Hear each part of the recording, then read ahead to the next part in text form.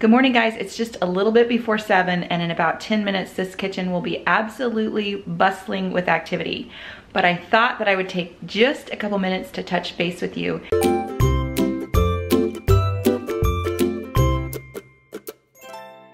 Today is gonna be my large family once a month grocery shopping haul.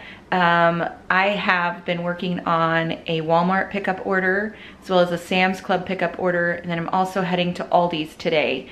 Um, so a little bit overwhelming but in thinking about the menu for this week and I'm going to share that with you at the end of this video. Um, I am also struggling quite a bit. Right now, we have had just a lot of things going on and feeling a little bit overwhelmed with even getting meals onto the table. The other thing that is happening is kids are really pushing back about food. So my theory is you get what you get and you don't throw a fit, right? My mom set food on the table. That is what you eat. You know, there's not substitutes. I'm, I'm not a short order cook. I'm not gonna make a million meals here. This is dinner and here it is. And we've done that with kind of all of our meals we've streamlined that way. Um, when I was a kid though, we kind of chose our own breakfast. Mom didn't make breakfast really. We just got up and got what was available. And I'm kind of thinking that this month I may want to slide into more of that. Now, Here's the downside of that. With a large family, it's a huge mess when everybody is making something different. Um, and so that's why I streamlined it and I had my breakfast rotation and my snack rotation and my lunch rotation and but the rotations just aren't serving us well right now. Um, I have been gone a ton, just we've been doing a lot of doctor's appointments and things have just been kind of crazy. And so as I'm planning for this next month, I'm thinking, you know what? Think I'm just gonna buy a lot of breakfast items and we're gonna see how this goes if I just set out a few choices for everybody. Um, the other thing is, it's like last night, supper was a disaster. There were a few kids that didn't like what I made and I'm just getting a whole lot of pushback right now. So I'm thinking, you know what, is this worth the battle? Um, I'm wanting the kids to eat healthy, so I don't want them to substitute like with a peanut butter and jelly sandwich every day because there's some kids that would eat that for every meal every day.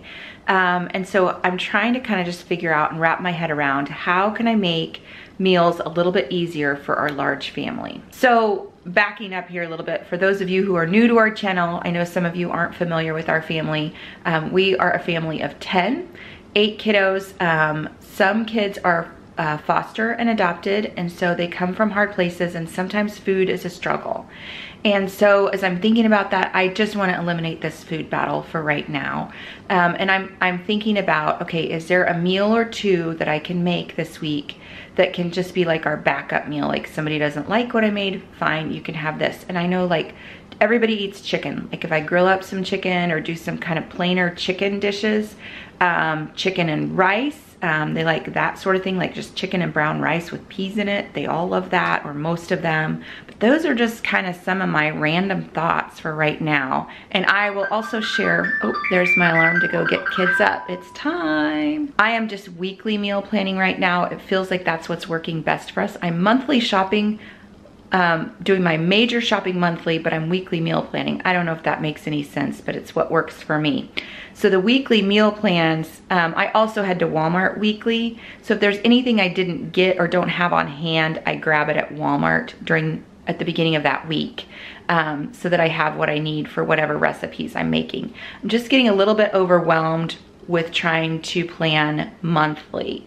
Plus, I feel like we end up don't you don't end up using meals or I get kind of picky sometimes and I'm like, ooh, I don't feel like eating that today. I planned it a month ago and yeah, that just doesn't work into our schedule. Or I needed a crock pot meal for this day or something quick and easy. And so it just feels like we kind of, we don't waste it. I mean, we go back and use the food, but it just feels a little bit disjointed and disorganized. And if I plan it by the week, I really know what's going on each evening. Do I need a lot of crock pot meals that week? Do I need a lot of really simple meals that week? Do I need some convenience meals that week? And so it just helps me maybe to, to plan a little bit better by the week because when I plan a month ahead, I have no idea what's gonna be happening those last three weeks, last couple of weeks of the month. And so, um, so that's kind of what I'm doing right now.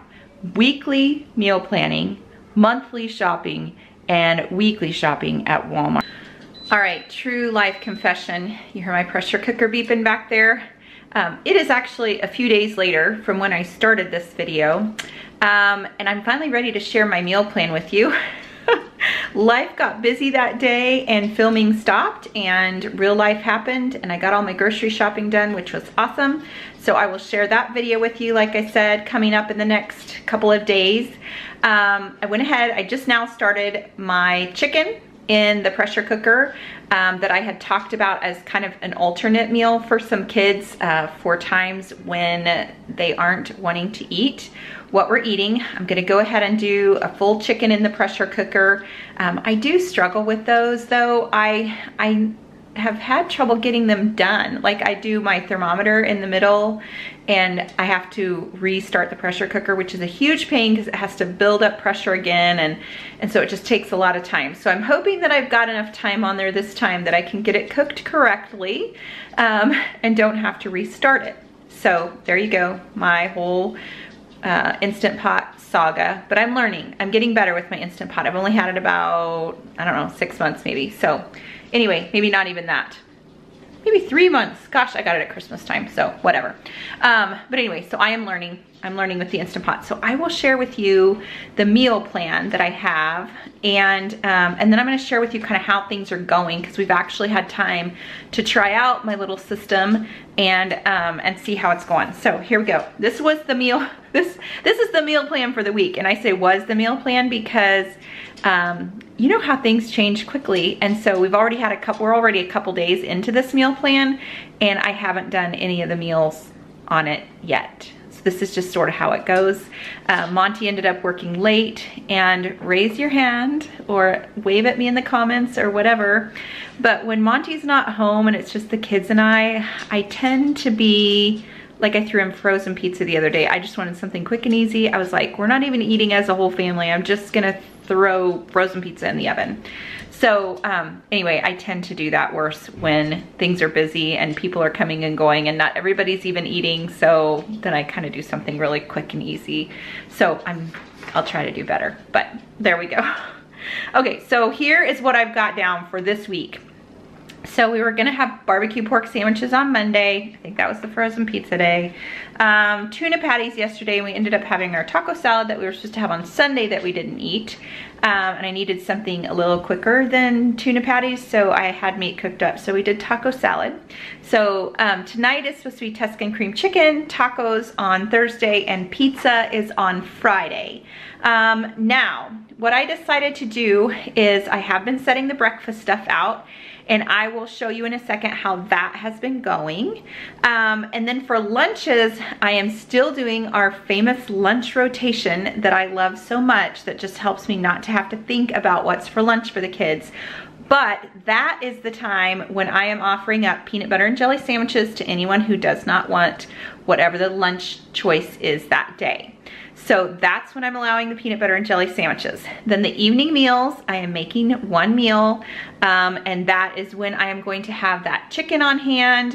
Um, I'm gonna have some rice on hand as well. So if they want some chicken and some rice, they can have that instead. So that's kind of how we're doing it. We are eliminating the fights about mealtime, the frustration for the kids about mealtime being hungry, not being able to find um, anything to eat that they want. Um, and we're just kind of trying to eliminate a lot of the stress surrounding mealtime. So I'm gonna show you guys, this is how our morning went the other morning. This was kind of how we were doing breakfast and this is how we've done breakfast this week. Now, um, there's a couple of breakfast meals that everybody loves. Like when Monty makes biscuits and we do biscuits and eggs, everybody loves that. So I'm gonna interject a few meals in a week where we just all eat whatever um, we've prepared because everybody likes it. Otherwise, they're getting the breakfast buffet of choices. Um, cleanup is maybe a little bit harder, but we're eliminating the argument, so it's sort of a trade-off.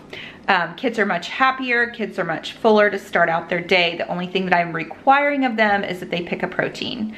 So I ask each of them to pick a protein for the morning, one protein item, and then they can have their choice of the carbs and the fruit and whatever else. So it is Monday morning and I thought that I would show you what I ended up with kind of for breakfast choices. So I have a little breakfast buffet. Everybody should be able to find something they like out of this.